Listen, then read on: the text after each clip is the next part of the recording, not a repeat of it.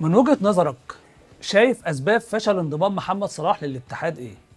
يعني أنا شفت المقابلة اللي صارت مع الزميل آه، تركي العاجمه مع آه، رئيس التنفيذي لرابطة المحترفين إنه هو أقسم بالله إنه حيقول يعني الحق وإنه يخاف الله في ذكر كل الحقائق فيما عدا موضوع آه، محمد صلاح ما أتكلم عنه نهائيا ولا ذلك من منظور إنه هو يعني برضه بيخاف الله لابد إنه يقول الحقيقة. يبدو انه الحقيقة غائبة وإنه سرها عنده وفي نفس الوقت عند سعد لذيذ وإنها يعني لن تكون آه يعني آه واضحة للجميع.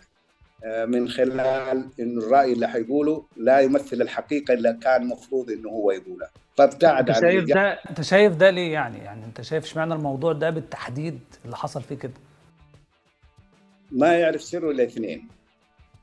طبعا وقبلهم عز, عز وجل بس يعني بالنسبة للسر في هذا الموضوع سعد لذيذ وأنمار الحايدي.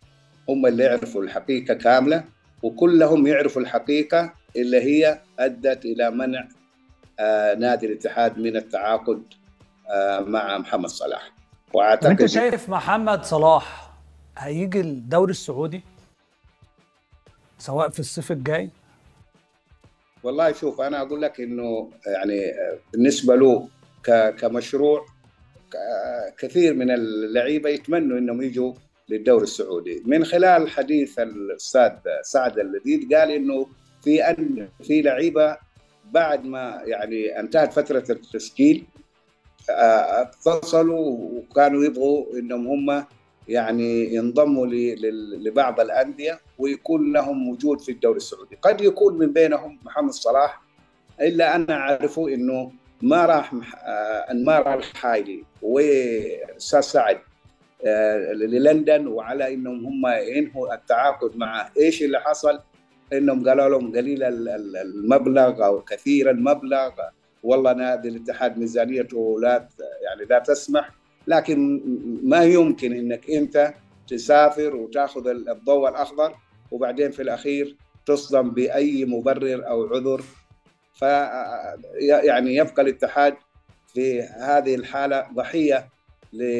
لقرار خاطئ اتخذ في لحظات خاطئة وفي نفس الوقت تتحمل جزء من مسؤوليته لجنة الاستقطاب وأيضا إدارة نادي الاتحاد لانها اخذت الحقيقة اللي حتى الآن مجهولة تماما. بس أنا متأكد في يوم من الأيام اللاعب محمد صلاح حيقول الحقيقة.